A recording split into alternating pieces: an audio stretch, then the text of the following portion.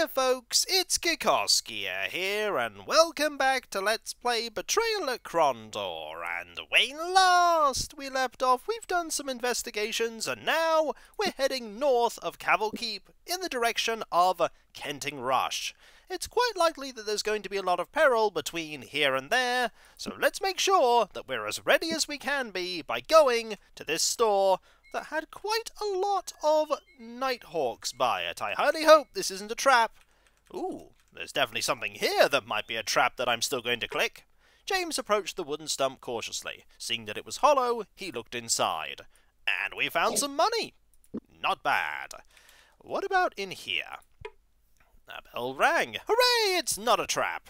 This is Etc. Goods. The lay of the goods store was comfortably familiar, arranged in such a common sense fashion that it took only a few moments for James to locate the items which interested him. A key, a key, a key, an armorer's hammer, a herbal pack, some rope, a shovel, torches, and whetstones. This is a pretty good store. This is a brilliant store, in fact.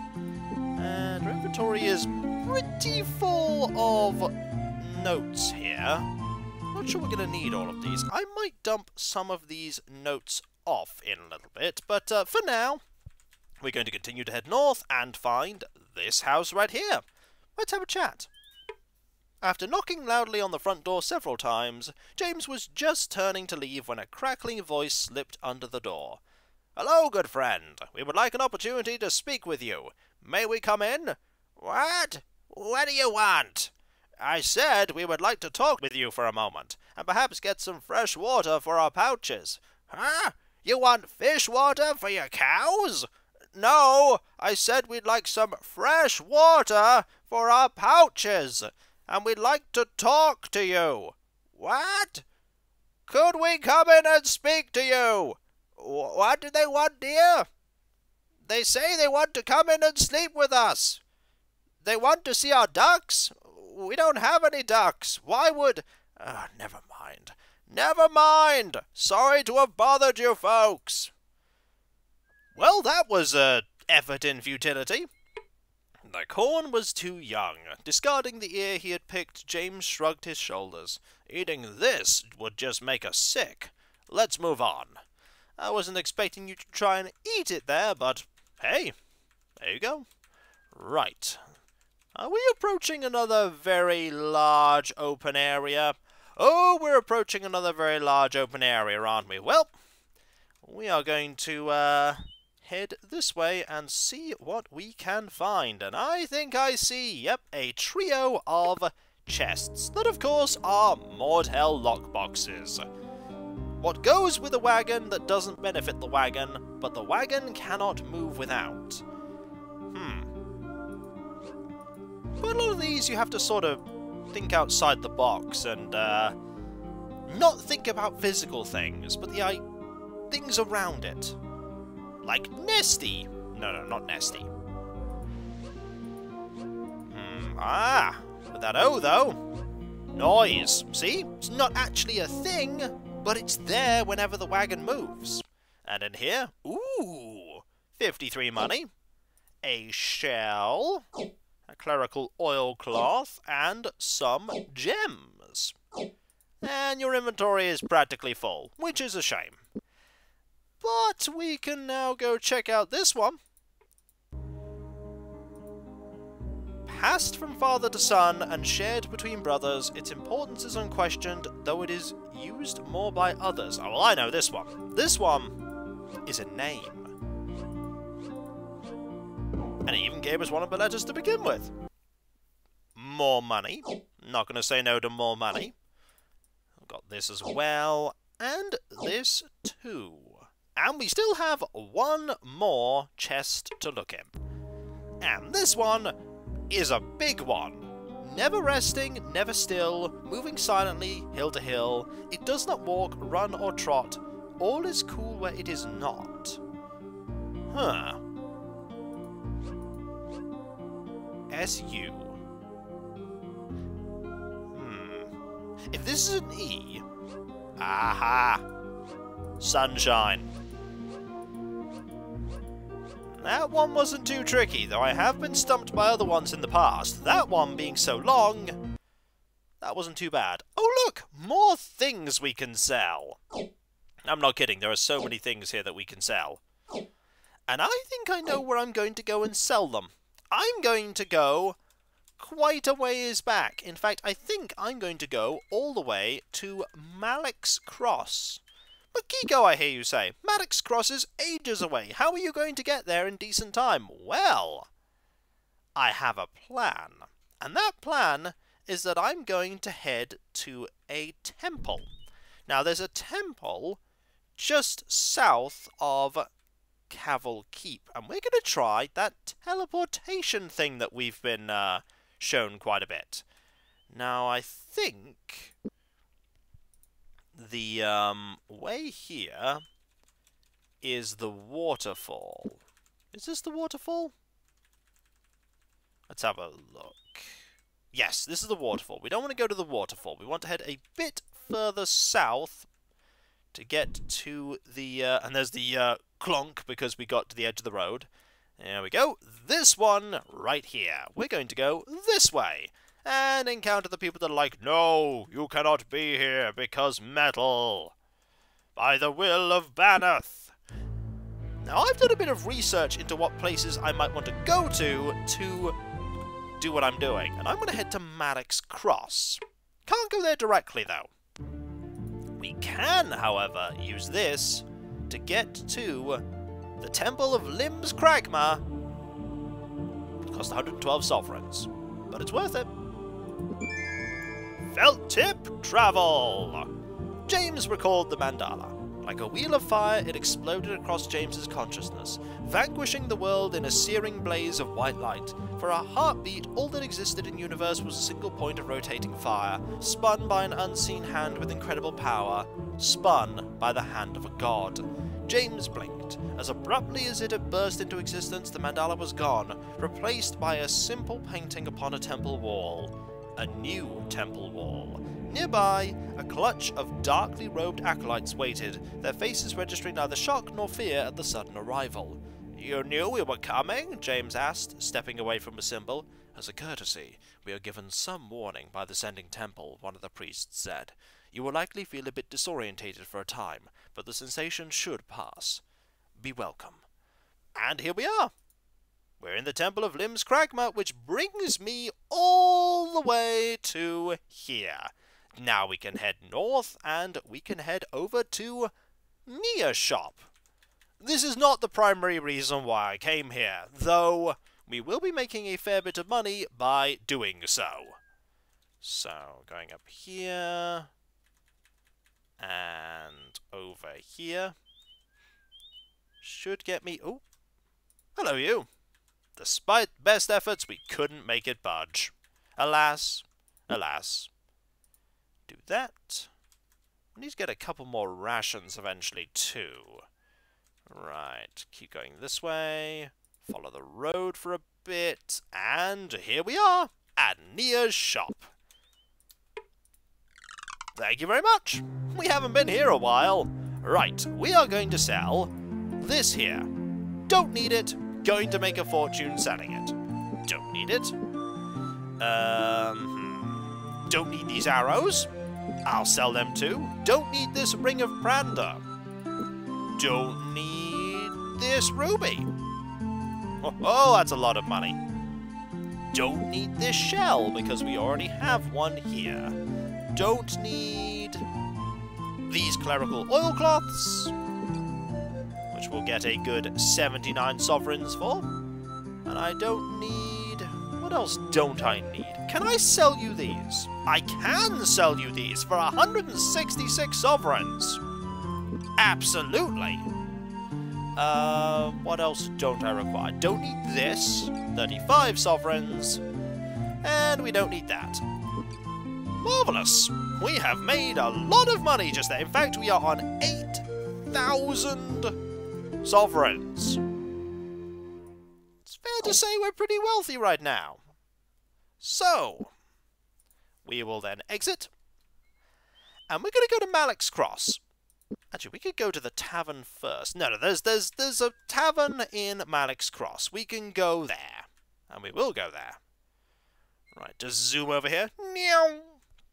Now, we could go all the way to Krondor as well doing this, but uh, we're not going to. We don't need to. So, we are now... where exactly? Ah, we've gone right past where I need to be. Whoops. That's what I get for following the road too much. We need to head south at some point. And the south we need to go to is this way. There we go. Spending a couple of days travelling around. It's not really going to hurt.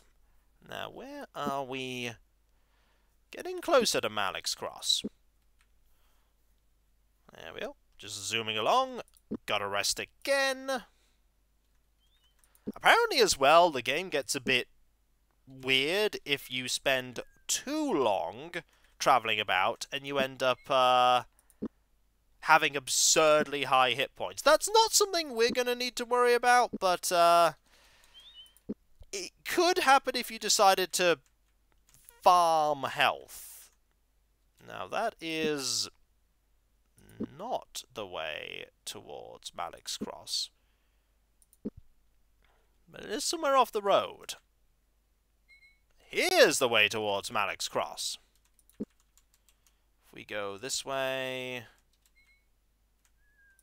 And... Down here... This should get us there. Oh yes, this will get us there. Right, we're going to save before I do this as well, because uh, hopefully it's going to be something I can afford, but it also might not be something I can afford. So how's our equipment doing repair-wise? Not bad, but uh, we could uh, afford to fix this up a bit. Oh, not as bad as you thought. There we go. You got that to 100, and that's at 99 that Gorath's wearing. Malac's Cross, let's go. Temple. I never actually clicked this one. I could have actually just gone straight to the Chapel of Ishap, but that's okay. Let's enter, and let's look to bless something. James searched his pack. Which of your items would you like blessed today? Priest asked. Let's, uh, let's click the sword. It seems like only, uh, armor and weapons can be blessed. How about this? The priest accepted the item. Carefully, he laid the great sword on a low table covered with a white cloth, while he opened a book which he retrieved from a cluttered bookshelf. Flipping through its tattered pages, he found a column of numbers and ran his finger down them. I've always wondered why the price of a blessing varied from item to item, James said, watching the priest. Does it have something to do with the gods? Rather more to do with how the item was made, the priest explained. If there are any special metals used in its construction, or spells used to bend the metal, then they become factors in how difficult it will be to make for us to make a blessing stick. Leaning closer to the page, he stabbed at a figure. Ah, here it is. For your great sword, it will be three hundred and ten sovereigns, the priest said. Sure.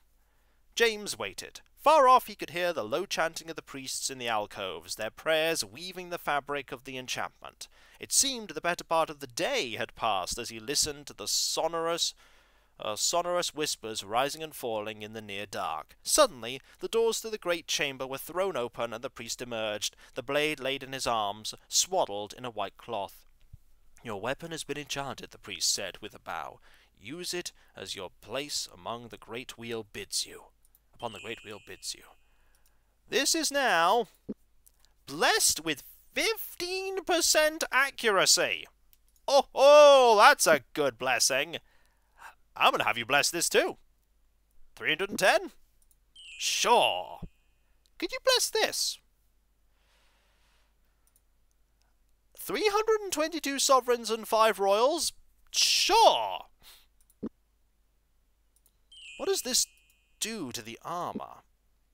I don't know, maybe 15% damage resistance? Either way, we'll bless this too, and we'll bless this as well.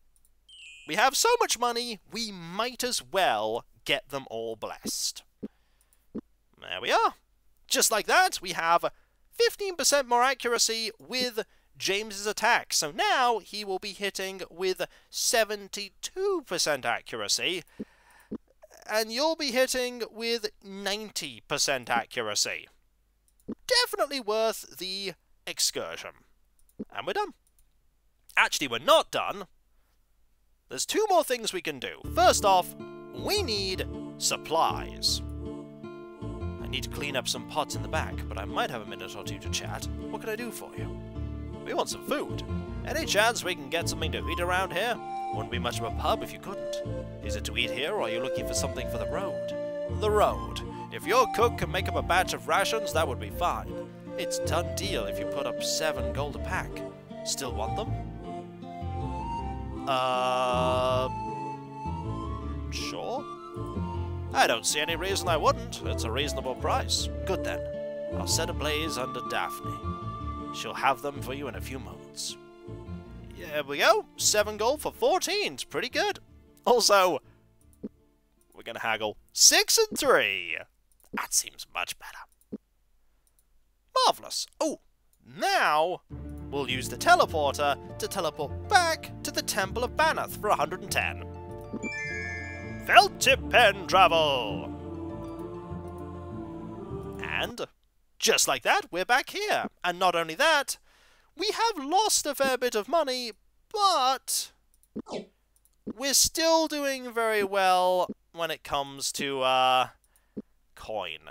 Just over 6,000, and some highly enchanted gear as well. Don't mind me, people, we're leaving. And we need rest, not surprisingly. Ah, they don't like those people, do they, nearby? Ooh, we uh, gained some stats? We might have. Or we just might not have eaten while we were uh, resting around. Somebody, by the way, mentioned idly that um, I haven't used the spider on my weapons. And I was confused about this at first, but uh, then I looked at the description of the spider.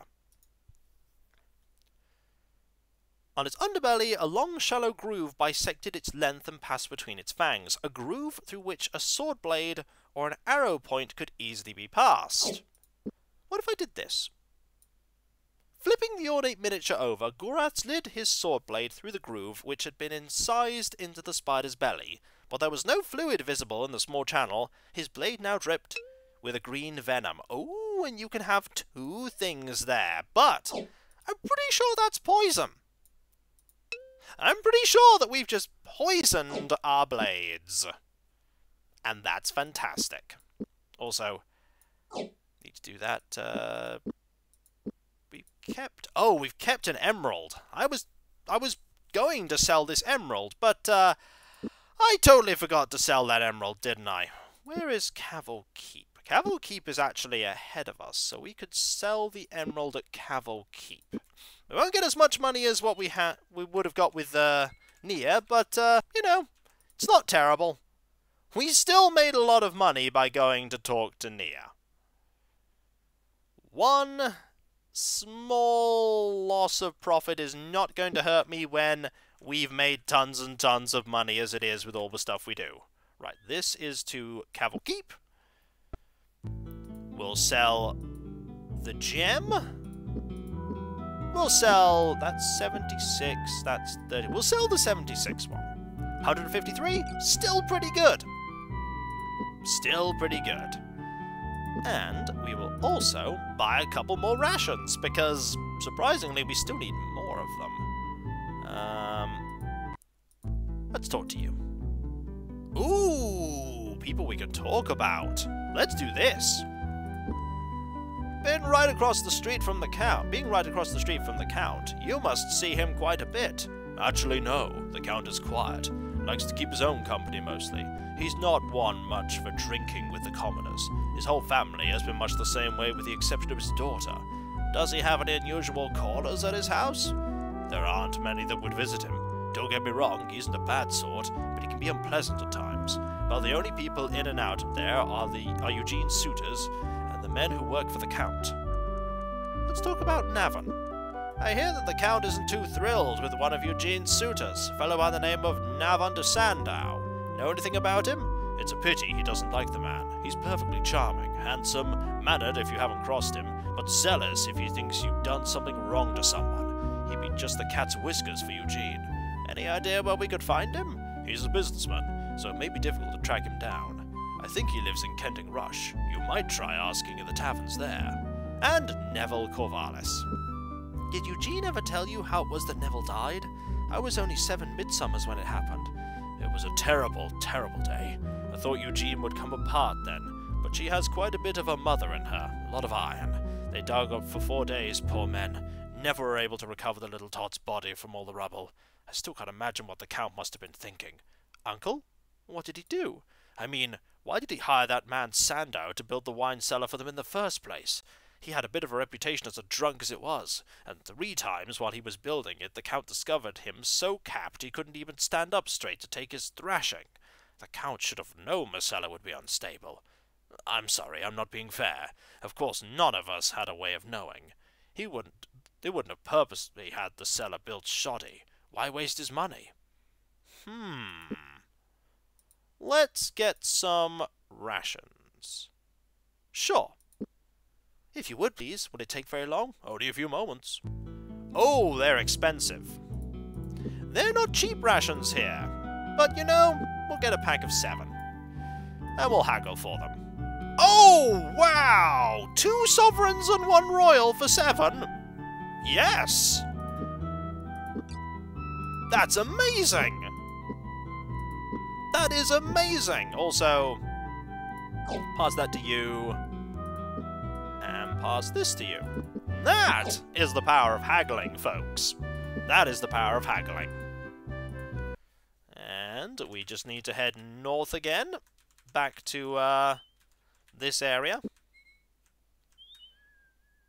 And it's getting dark, as it always does. Did we just gain a stat there? We did! We gained some health and some more stamina. Marvellous! So we'll just head a little bit north, and there we are, back here. And when we come back, folks, we have cleared out some more inventory, checked a tiny bit of this area, and checked out both teleporting and weapon enchantment. And my, were both worth it. Were both worth it. And so, I'll catch you next time, folks, for this wilderness awaits, and I'm sure there'll be some enemies there who will surely regret us coming face to face with them. And so, I'll catch you next time, folks, and I'll see you then. Later.